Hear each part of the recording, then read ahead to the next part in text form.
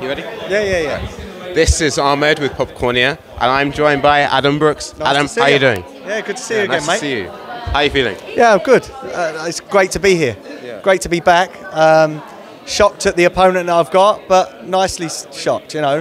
And I, I'm ready for business. Yeah, it's quite a, quite a, a big fight for you. I think Yeah, your yeah, biggest, yeah. really your biggest fight. Well, when Mams sort of rung me, I was I thought he was winding me up. But um, it's fantastic. Look, I always said I'll fight anyone, and I think that's maybe what's got me this fight is that, that they need tests for these fighters, and uh, they know I'm going to come and bring bring the fight to the party, and uh, I'm looking for the upset. yeah. Now, when I was walking in, you were sitting right there, and I overheard you. I think you said you, you sparred Anthony Yarde. Yeah, yeah, Did yeah. you actually? So Anthony Yarde uh, and Joel Kadura come to my gym to spar. Yeah. So uh, it was a couple of weeks ago, two or three weeks ago. Uh, my trainer, who, who spars with him as well, said, "Look, can, can he jump in? He's got a fight coming." And they, they, they're, they're nice as pie, and they said, "Yeah." And uh, the last three weeks, I've sparred both of them and Anthony Yarde, and look, they're, they're keeping me honest. They're they're giving me tips, and you know, I'm learning. I'm learning from them. Uh, That's quite that's quite good. I mean, I, cou- I couldn't imagine a better sparring partner than them. Anthony Yarde is fantastic. I mean, for such a big guy, I can't believe the power on him. He's so fast and so intelligent. And, um, you know, if, if 0.1% of that talent rubs off on me over the next few weeks sparring, then I'm a better fighter for it. Yeah. You know, um, I just thank these guys for, for giving me the time of day. It's brilliant. So, how, how does Anthony help you with Kenny? It's the speed, really. It's the speed because one thing Kenny's got, he's got a very fast snap jab. Um, and it's just learning to sort of counter and, and read that. And, and that's what we've been doing. You know, I've got to get past that jab, otherwise, I'm not going to get near him. And uh, as I say, if he leaves his chin up in the air or, or open, I'm going to hit it. And it's whether or not his legs can take that. The, the last two couldn't. Have you been developing your power then? I've always got power. You know, uh, I say it again. If this was outside the ring, he'd last 10 seconds with me. But it's in the ring. He's got the experience. He's got the youth, and um, he's got a height difference, the reach. He's probably got everything apart from the aggression and spite that I've got. So, you know, I'm, I'm ready, and uh, I'm, I'm looking for that big upset. Yeah, that is true. Kenny has been, um, you know, sometimes he does struggle with you know, more game opponents. Yeah. I think so. You think you're gonna do that? Well, look, I, I think look, I, I don't want this to be a messy fight, particularly. Like, I, I want to win, and I I will win in my mind. But I also understand that this is entertainment, and I would hate to even win and everyone go, "Oh, that was so boring. That was, uh, you know, we just spoiled him." I'm coming to put on a show. Mams has put me on here because he knows from that bell I'm going to start swinging. And um, it's a great story. Old, old guy, 44, against a 27 year old. You know, I'm hopefully doing it for everyone that's sat on their sofa at home thinking it's too late. it's quite good. But speak, touching on what you said earlier, you, you said you want to watch out for that jab. Yeah. So do you think that's his best shot? I would say he's got one of the best jabs in influencer crossover boxing. He seems to think he, he's got the best. What they don't know about me, because I, I didn't really throw the jab that much against Rhino, I've got a long jab, I've got a fast jab, and I've got an awkward jab. And I think they're just about to see that I can match his jab.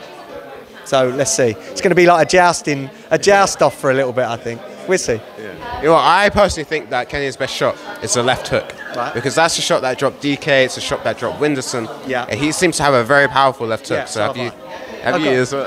I, I, I caught uh, Rhino with a left hook a couple of times. It's one of my favourite shots, but we're not going to give away. I, I, don't, I don't need to work on my left hook because it's something that comes naturally for me. Um, but look, if, if he thinks I've got to watch out for his left hook, he, he better hope that I don't hit him at the same time on mine. Yeah. We could have a, a double knockout.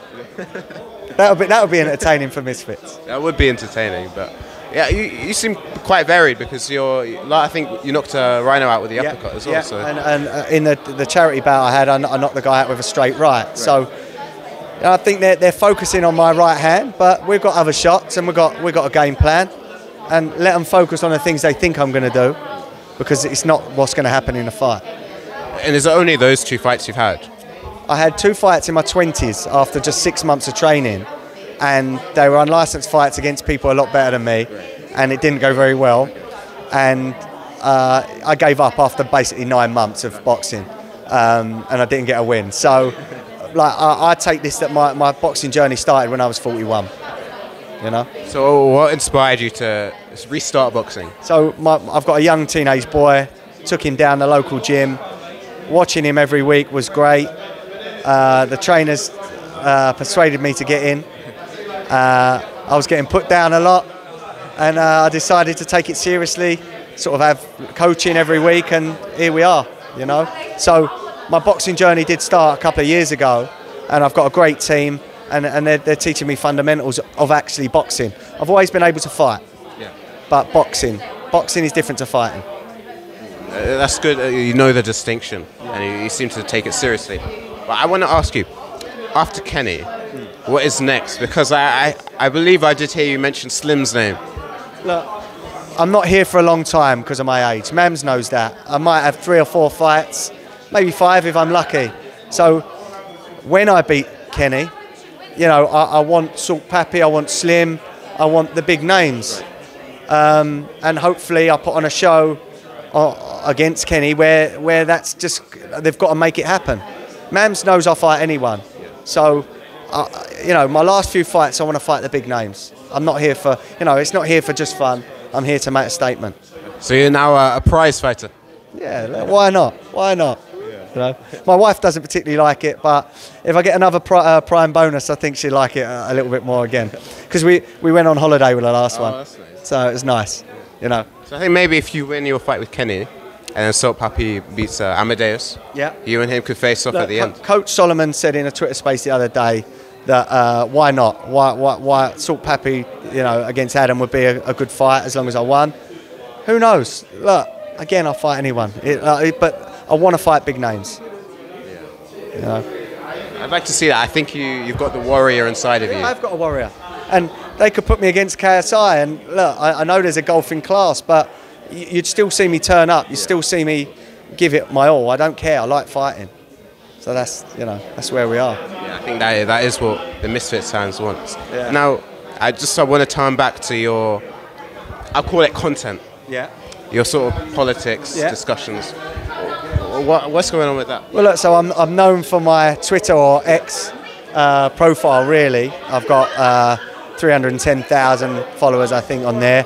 I'm on GB News weekly, sometimes twice a week. Um, I'm known for my politics and my, my opinions on, on news of the day.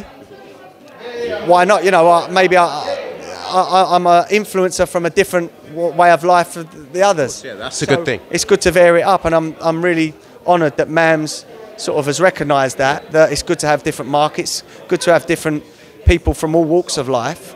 You know, I get that, oh, who's this guy, who's this guy? Just because you don't follow me on Twitter, or it doesn't mean that I'm not somebody in the scene. So, look, I'm here to get my name out there, and hopefully the Misfits crowd take to me again. Uh, I'll give it my all, and uh, I think it's going to be a good fight. Yeah, could you tell me uh, something, uh, an interesting uh, political opinion of yours? Something An interesting. Uh, no, I, I, no, I, I don't want to go into politics because That's your thing. Politics can, can div- divide people. There's there's a lot of things that people will will agree with me on, and then there's things that they won't agree with me on. And that you know, it, some days some people can be very childish and think, Yeah. oh, I agree with him on nine out of ten things, but that one thing's annoyed me. I don't like him. Um, I'm someone that like, I take all opinions and that. So I'd rather not give my political opinions. If if people want to see the sort of stuff, they've got to follow me at Essex PR on Twitter. I think nowadays, like the political landscape is like quite bad because like Toxic. you know you don't agree with someone, someone, and they're the worst Yeah. person on earth. Yeah, yeah. Wanna, wanna patch- it's become very tribal. So it's like it's like sort of a Tottenham Arsenal um, rivalry. You're either sort of left or you're on the right. A lot of the things that I believe in are sort of centre to right, but there are things on the left. And during COVID, I got a lot of sort of fans and followings from my, you know, my fighting for people, the average person on the street, the average worker. You know, again, some people agree with, with a lot of what I say, some people don't, but that's that's life. But I, I believe I speak for quite a lot of people in this country. that, that, was, that was a very uh, very good piece from you there. That was, I, I'm sure that's inspired a few people. I hope it come across all right. But follow me on Twitter, SXPR. Any last thoughts from you for, uh, No, for the look, fans? I, I'm, I'm, I'm hoping the fans take to me. Um, I'm going to come and give it my all. Kenny's got a fight on his hands, and maybe you know I'm, I might need a bit of luck. Who knows? But we, we've put in the work, and if I catch him with my right hand, he's in trouble. It's, it's quite a, almost a threat from you there. But uh, any, a message for Kenny, perhaps? Beware of the old man. Beware of the old man. That's a, a good note to end on, Adam. Thank you. Thank you very much. Thank you very much. And I'll, I'll see you on Fight Week. See you then. All right, take care. Is that right? Yeah, that's good. Yeah, yeah, yeah.